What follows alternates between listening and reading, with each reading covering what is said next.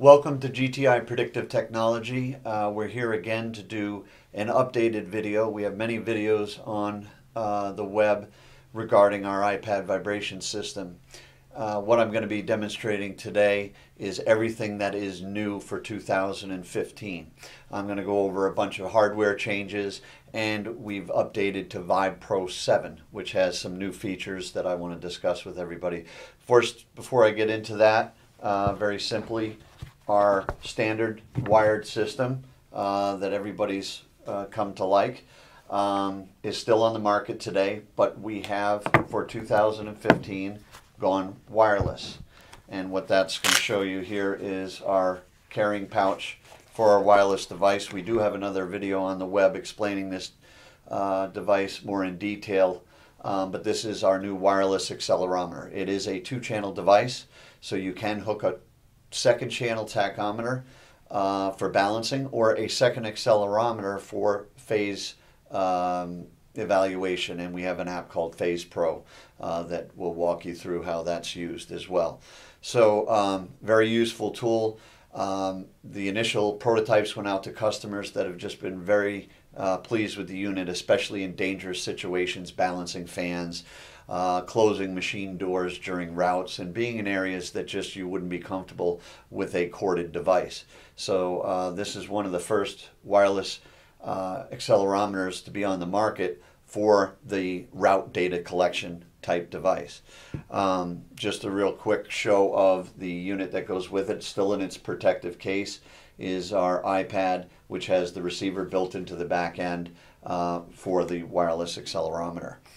Um, but for VibePro 7, I'm going to project on my side here what some of the changes are.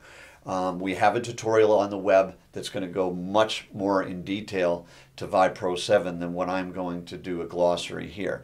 But what we did add is a higher resolution uh, in our main single measurement mode.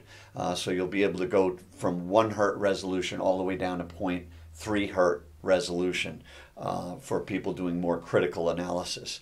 We also added an editing uh, capability. And as you see behind me, you're going to be able to see that we can edit all these uh, routes. We can copy and paste different names, so we can change names, but we can also uh, add a machinery list that will allow you to pick a six-point motor, for instance, and just be able to tap on that motor and it'll put all the vital points that you would normally take uh, for normal vibration, traditional points and their names uh, would be listed right there just by a tap of the finger. I just wanted to read a note from one of our customers. Uh, they wrote to us, uh, Dear GTI, we've been conducting vibration analysis for 25 years, and this is one of the best data collectors we've ever had.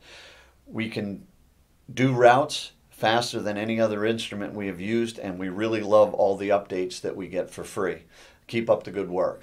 So we, we do appreciate that feedback everything that comes back to us for feedback, we try to implement into the system uh, and improve it and have you guys be able to load it directly from the App Store without any premium. So once you own the app, uh, any of the improvements we push down are for free. One of the other things we added to VibePro 7, custom values. One of our customers asked, well, geez, you know, you've got temperature, you're trending, and you have my vibration levels that you're trending, as you can see here behind me. But also, I'd like to take a custom value of any particular asset I'm measuring, whether it be oil pressure, um, drawbar retention, whatever that value may be. I want to be able to manually input that data into my VibePro and also trend that. And now you can see we've got that trending capability as well. So it gives you a, another point uh, of reference to trend that you didn't have before. And that's not something that's in any other analyzer that I know of. Another thing I wanted to add uh, to my talk with VibePro 7 coming out. Uh, the customers that are using VibePro 7 intimately use our web app as well for post-processing and for dashboards. So any, as you can see behind me here, anybody that wants to take a look at their entire plant, all the different areas of that plant, all the different machines or assets of that plant are able to click one button and know a dashboard of how many of these asset points are in red, how many are in yellow, and how many are green. And then they can drill down on those different points to find out what the spectrums look like and do all their post processing. So we've added a, a, few more bells and whistles into the web app. Uh, you can now view in a large spectrum. You can put up bearing points. There's a lot of powerful process or post processing involved in our, our web app. So we wanted to show that to you as well. As a closing to the web app features that I just discussed, I just wanted to remind everybody uh, that's been using VibePro and now is going to VibePro 7. Uh, you know, we've had uh, over 700 users uh, transmitting from VibePro 6 are now going to have an opportunity to jump to VibePro 7 with all these features. Uh, but not to forget some of the core features of being able to email measurements right from an asset point in the single measurement mode uh, with photos of that asset point and all the different attributes that we do have that we leverage off the iPad. Um, not to mention you know GPS location and some of all those other features as well as using the camera.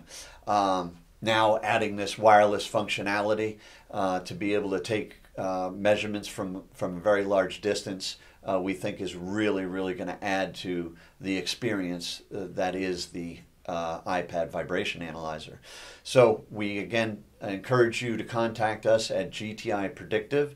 So on the web it would be www.gtipredictive.com or you can phone us at 603 669 5993. We thank you for your attention.